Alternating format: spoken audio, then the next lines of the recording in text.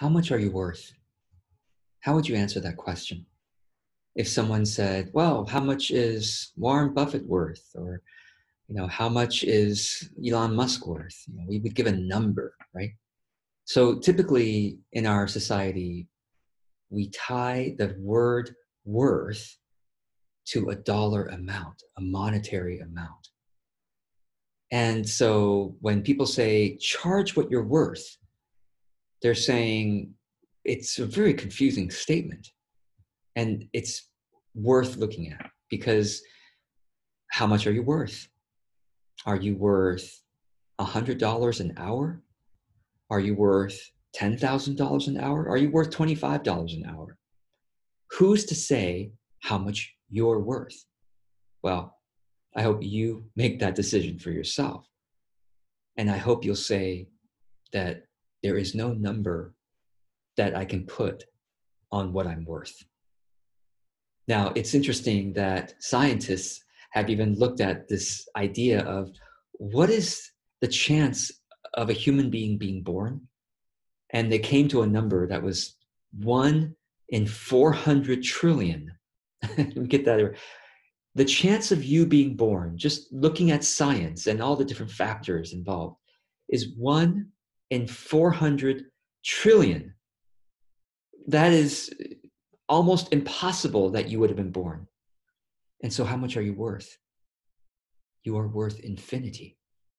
You, you, you are worth more than any money in the world.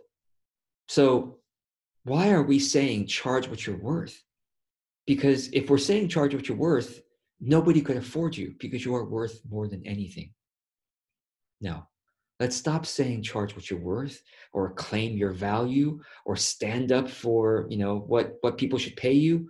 They should pay you infinite amounts because your presence as a human being is worth infinity.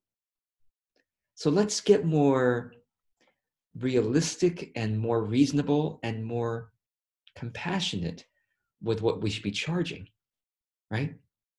So let's look at what are some of the common uh, teachings out there about, about what we should charge. We should charge based on what the market will bear. That's a common economics idea. Charge based on what the market will bear. What does that mean? That means charge as much as you can possibly get away with. Charge as much as people are willing to pay you for. Now, I always like to bring in the golden rule when it comes to doing authentic marketing. So let me ask you the question. Since you are my potential client, right? You are a potential client for George Kao, me. How do you feel if you knew that I was charging the most that I could get away with charging you? Doesn't feel good right there's this common idea in business sort of it's assumed that the business owner is just out to look for himself and the customer our client should also be aware of the business. There's an adversarial relationship between the business owner and the client. That is assumed in typical marketing and business trainings. But that's not how i want to relate to you. I don't want to be looking out for myself and trying to get as much as I can from you. And I want I don't want you to be in this position of being afraid of me and wondering what George is going to charge me. That is not a good relationship for a friend or somebody you want to uh, have on your team. Somebody you and I think that all of us are on on one team on planet Earth. We're all trying to survive we're all trying to thrive, and we all need each other to do that. So instead of that typical assumption of we all just look out for ourselves and just you got to beware of each other, what if we brought compassion into this and say, what if I look out for you? And what if you look out for me? What if a business assumed compassion to say, I'm going to be as compassionate as I can to my clients, to my audience. And I expect that they will also be compassionate towards me. I expect that they will also look out for me. And guess what? As I've been doing this experiment called authentic business for the past five years, I found that to be true. As I take actions toward bringing compassion into my business, I also notice that you all are looking out for me. And I'm incredibly grateful for that. So, how should we charge? What kind of money should we charge? Should we charge what the market will bear? Well, let's look at it this way. What if we charge based on compassion and based on enoughness? What if instead of charging the most we can get away with, we charged the least that we can get away with? What do I mean by that? How much do you need to live? How much do you expect your business to earn you at this time? It might not be all of what you need to live. You might need an alternative income source, and many of you do have that. You have a side job while you build your business. That's probably a good idea if you don't have savings or not lucky enough to have, you know, spousal support or parental support or other support. Probably need a job to pay the bills while you build your business on the side. And so you don't give your business all that much pressure to make all the money for you to live immediately, because then you can't be compassionate to your clients because you need to charge them the most that you could possibly get away with because you're trying to get as many of them paying as much as possible so you can live immediately, instantly. You're giving your, your business that much pressure, you're giving yourself that much pressure, and you're giving your clients that much pressure. What if instead you say, okay, I'm going to get a side job or two side jobs or whatever you need. And I'm going to not give my business that much pressure to support me right away, knowing that authentic business means to evolve in a way that is that keeps that to evolve your business in a way where you can continue to stay true to yourself instead of making compromises in your conscience and in the way that your soul is calling you to do business. And you can. If you do your business authentically, you will be proud of how you do business. You're, you will build an audience who tries to take care of you, and it will eventually support you completely. So, charge based on enoughness and based on compassion. Now, an important uh, couple of ideas here for you, uh, practical ideas in order to do this. One is right now, let's say you, um, like I said, if you don't need your business to make all the money in the world for you, okay, try to have a side source of income and then charge the least you possibly can for your service. Really. Okay, look at look at your look at the market, look at the people in your industry, what is the range of what they're charging? So maybe people in your industry are charging somewhere between $50 at the lowest to $200, $250 for per hour for, for the kind of service that you want to provide. Fine. Then charge at the lower end of that, cert, of that rate. Charge 50 an hour right now. Now, by doing so, you will appear to be a great deal for people. People will go, wow, I can get I can get your service at that rate. Amazing. Sign me up. Okay. If they, you know, if you talk with them, they're a good fit, they like who you are, they like the service you provide, what a great deal. $25 an hour, $40 an hour, 50, whatever it is that you are willing to charge at the lower end of your your range, the, the range of your industry, do that. This will then bring you clients more easily, and you'll have a waiting list eventually at that rate.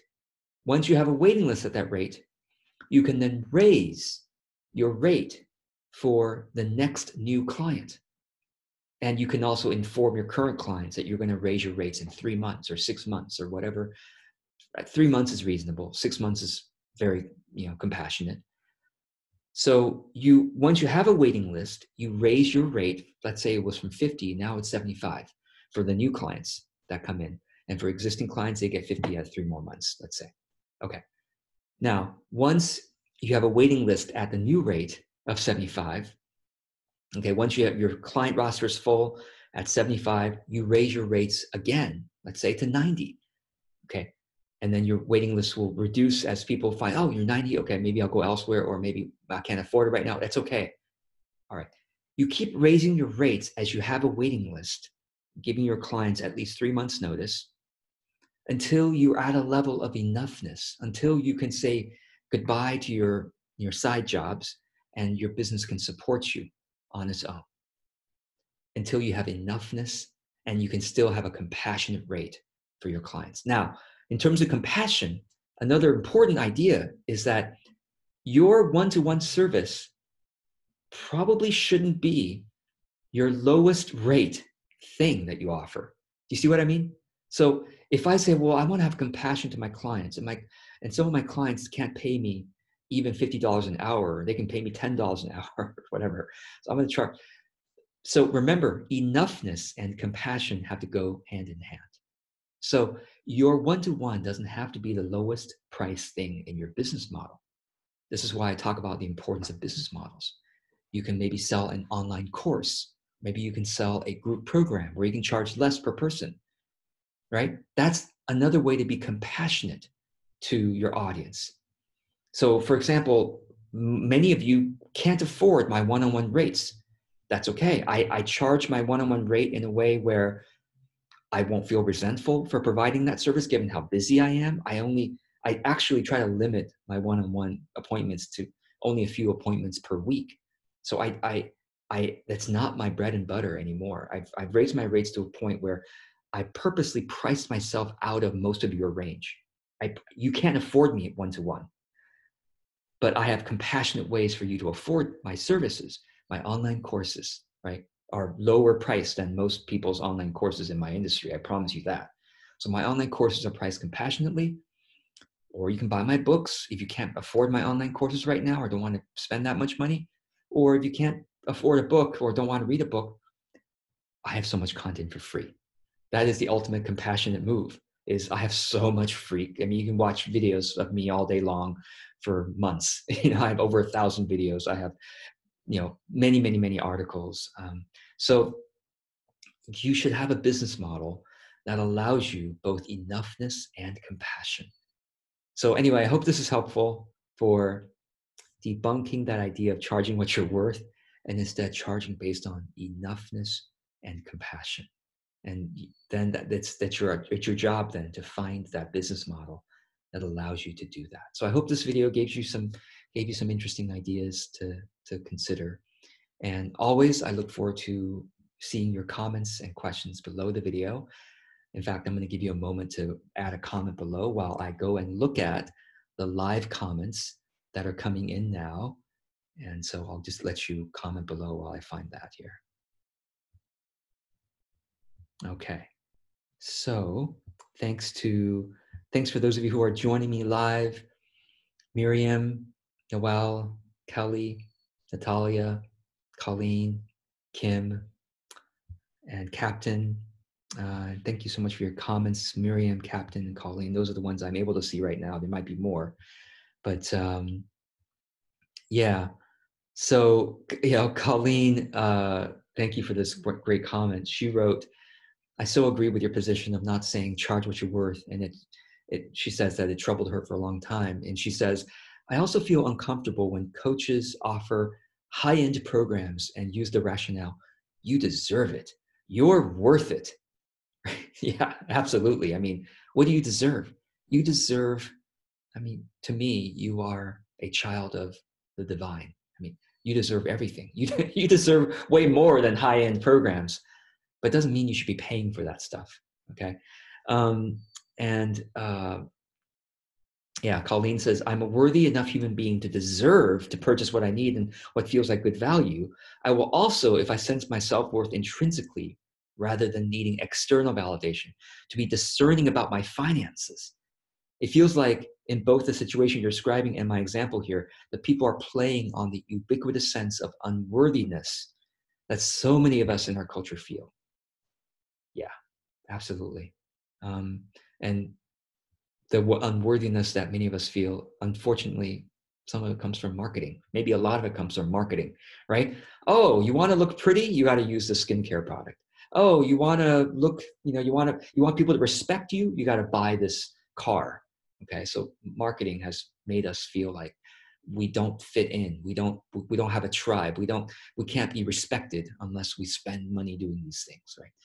So, um yes, thank you for uh, for your comments everybody below. I really appreciate it and for those of you who don't know me, I am George Kao, authentic business coach. I love talking about how do we build a business in a way that we can feel really good about ourselves um, and we can be we can know that we are putting out more compassion more wisdom into the world so thanks for joining me i always appreciate your your presence and uh, your engagement so all right i'll see you in the next video until then i hope you will remember that you are worth infinity.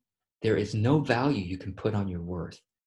And you also have the ability to charge based on enoughness and compassion. All right. See you in the next video. Take care.